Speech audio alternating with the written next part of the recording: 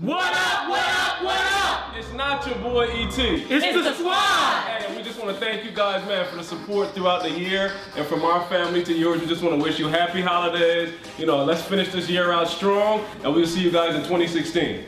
Woo! Thanks, guys.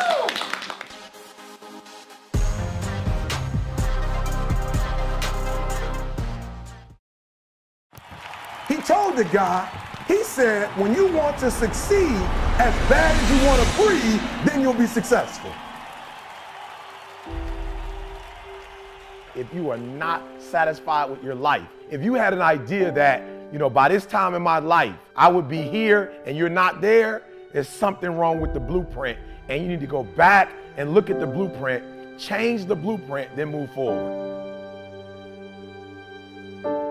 What I want you to really think about is the gaps. What are the gaps? Like, I can't seem to get in a relationship and stay in a relationship. What's the gaps? Like, bro, I want you to think about it.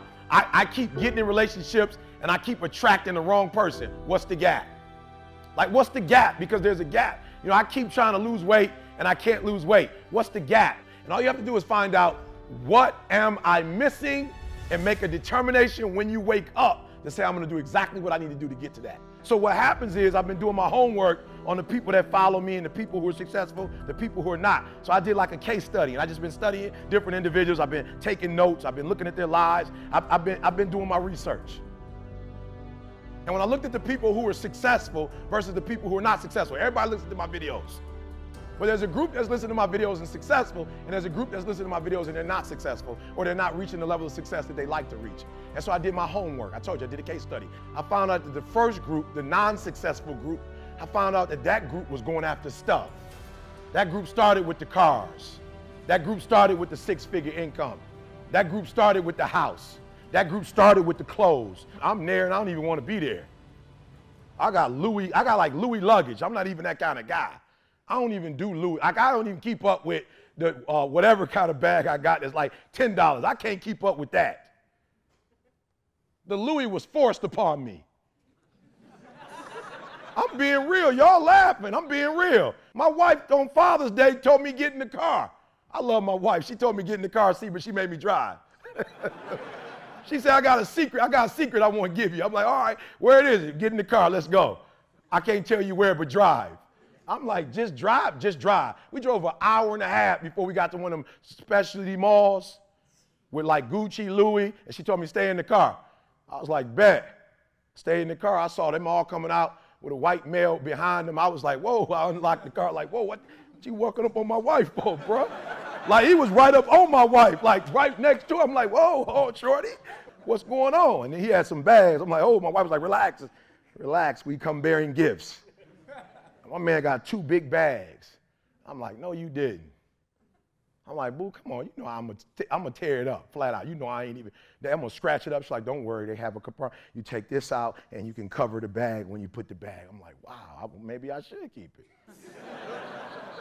right? I got the luggage and it's like 360 plus the boom. I'm like, wow. I've never like I don't really get into stuff like that, but I put it on the first couple of trips and was like, maybe I can. So I'm not saying that we shouldn't like nice things because I, I like nice things. But I realize that the people that go after things and stuff usually don't become massively successful. I discovered that those people who were successful, what they all had in common was they got to the core. So I need you to do me a huge favor. I'm about to say something to you, and I need you to go with me, right? And this has absolutely nothing to do with religion. Somebody asked me about my, my, my faith uh, when we were in the VIP. Listen to me, this has nothing to do with religion, right? But my life changed when I joined the church, right? Please hear me. And what happened when I joined the church is that they introduced me to these things called the Ten Commandments. And what was crazy about the Ten Commandments, crazy, y'all, that's how I blew up. And what the commandments did for me was it gave me a set of core values that I never had before. I'm not big time. I'm no better than you. We all the same. We all got vices. We all got struggles. We all got stuff we dealing with. So when I get, when, listen to me, I don't know, I was 17 years old, joined the church. All I know is when I got those commandments, guess what it did for me? It gave me, it, I, I was traveling with no direction. And all of a sudden now I got some core values to live by. The reason why some of you can't blow up is because you have no va- like you don't operate from your values. You operate from money. You operate from your feelings. You operate from stuff. You don't understand why you can't get to the next level because you don't have a value system and people know you weak and you don't stand for nothing and that's why they don't want to associate with you. That's why when they go to the next level they're not trying to take you with them. So I'm telling you, if you want to blow up, you need core values.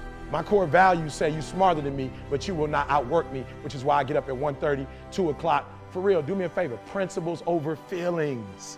It's not about how I feel. What's the principle? How many you right now? Let's just be 100. I want you to be real with me. How many of you can say in this room, ET, I've not mastered that yet. I'm still like, my feelings get the best of me, and I'm not like my principles don't reign supreme. I'm, uh, I must be honest and say I'm being led by my feelings a lot of times. We're going to fix that, right?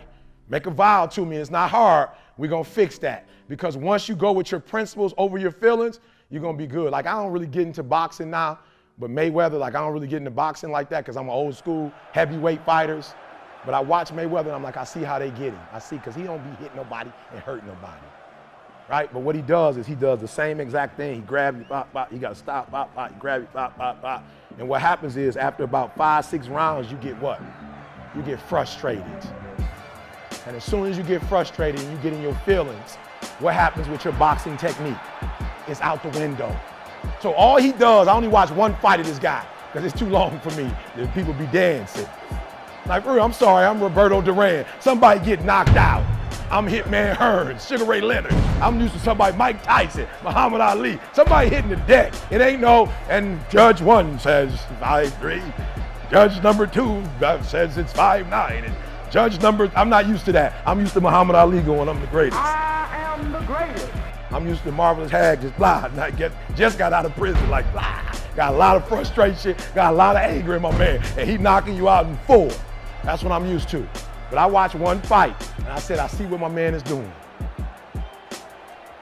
He gets you frustrated, and as soon as you get frustrated, you lose your technique, and he just come in and get his points and go back. And it's undefeated because he doesn't go into his feelings. He sticks with his principles. And if you would get to a place where you stop letting people and things take you into your feelings and take you off your game plan, if you would stick with your principles, you would see yourself reach success more than you've ever seen it before.